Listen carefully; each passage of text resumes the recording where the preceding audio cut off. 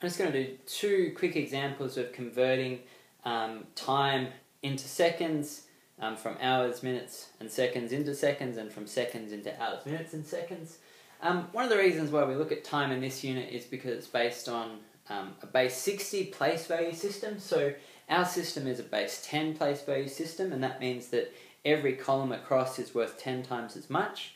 When we're working with time, if we consider a second to be our standard unit, then every column across is worth 60 times as much.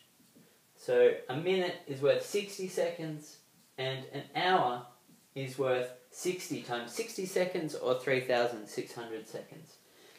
so I just need to keep that in mind um, when I'm doing a conversion like this. So rather than convert um, these into these three hours into minutes and then into seconds, I can just convert them straight into seconds to begin with. So um, when I read a time like this, it's 3 hours, 21 minutes, and 42 seconds. I just need to remember that the 3 hours means 3 lots of 3,600 seconds. The 21 minutes means 21 lots of 60 seconds. And the 42 seconds represents 42 seconds. so, um, in order to convert this into seconds, I can just work with, with each column. So I've got um, 3 times 3,600. And I might just, on this side, just write out multiples of 3,600, um, which we might use later.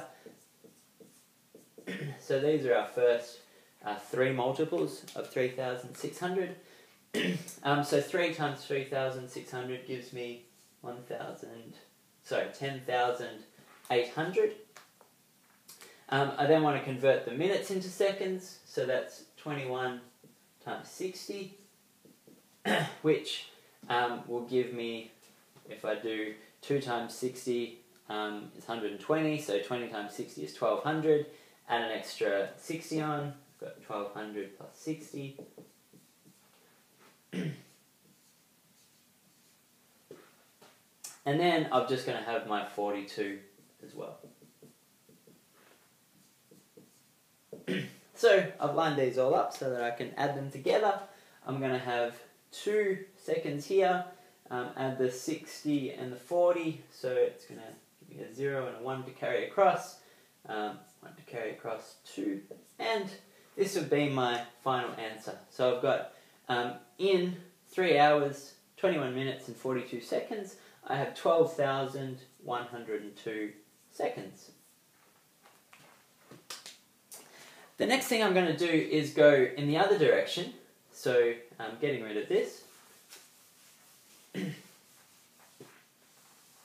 and so say I had something like, uh, let's do,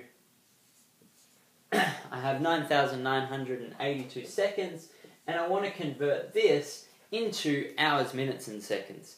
And this is something that we might want to do uh, quite often because um, you know, we understand things better if they're in hours, minutes, and seconds because that's what we're used to dealing with. so in this case, um, what I first want to do is look at the hours and essentially ask, well, how many hours is this here?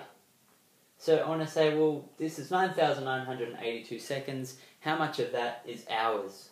so I rubbed it off before, but um, since we know the first three multiples of the hours, we can see that 9,982 is not quite three hours worth, so it's only going to be two hours worth. so then I know that it's two hours, and that's 7,200 of those seconds. So that gives me 9,982 minus 7,200. That gives me um, 2282 seconds that couldn't be converted into hours and that I now need to convert into minutes. so my next question is how many minutes are there in 2,282 seconds?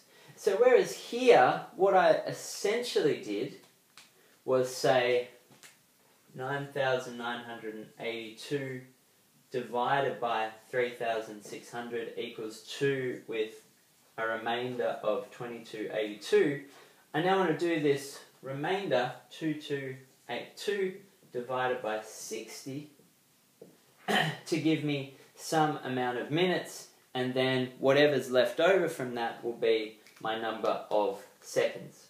And so um, I can do this as just quick uh, calculation. so um, this is going to be if wow.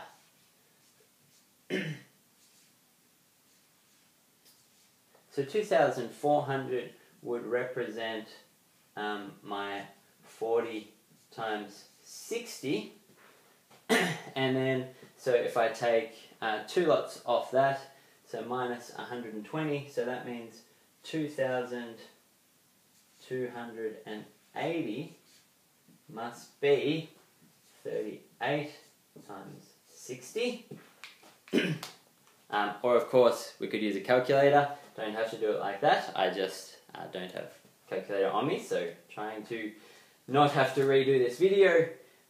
um, so we see that this is going to give us, so this um, is, is pretty close to what we need. So 2,282 divided by 60 is going to give me 38, and then with just a remainder of 2 seconds.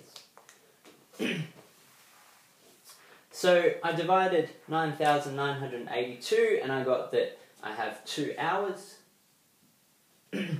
Um, and then I took the rest of those seconds and divided them into minutes, and I found that I had 38 minutes. and then finally, um, I had two seconds left over because this was just two seconds more than um, 38 times 60, and so I have two seconds left over, which I can do as a put it in a zero like this as well. And if I wanted to check my answer, I could then um, do the process, the reverse process that I did before, and multiply this by 3600, multiply this by 60, and multiply this in order to come up with final answer. Okay?